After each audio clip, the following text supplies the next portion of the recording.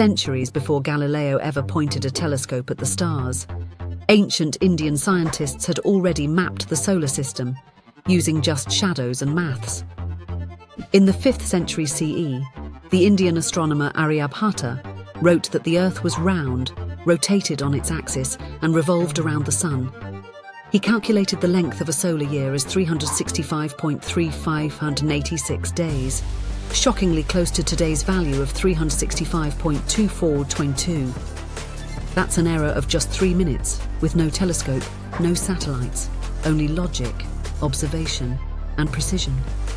He also proposed that lunar and solar eclipses weren't caused by demons, as many believed then, but by the Earth's shadow falling on the moon.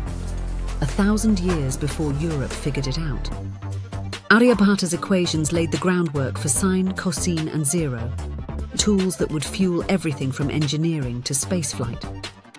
This isn't just ancient knowledge, it's evidence of a scientific culture centuries ahead of its time, like unearthing hidden truths. Subscribe for more lost science in 45 seconds.